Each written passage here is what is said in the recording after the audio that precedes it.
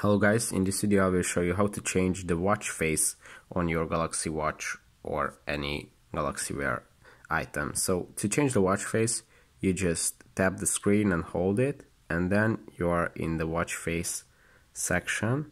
And here you can choose any of the available watch faces.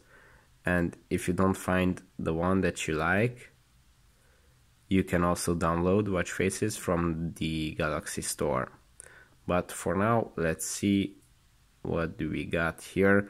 Yeah some of these are downloaded so you might not found find all of these on your watch but as I said you can always download any. So I, right now I have this one. Let's opa.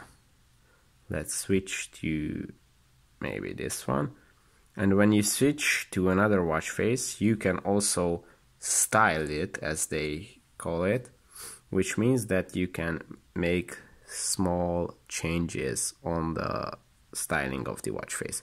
For example, as you can see, you can change the dial, you can change the hands, you can change the battery, how should it look like, like this. You can put like uh, your heart rate in the place of the battery.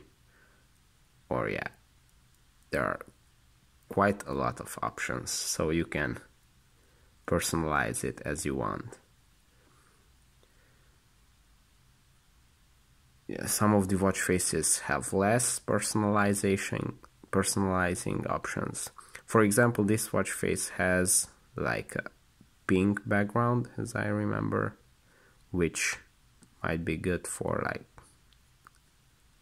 yeah this looks more like feminine. Yeah so there are quite a lot of options that you can choose from. And that's it. I like this one and this one. Let's go with this. So that's it. That's how you can personalize your watch.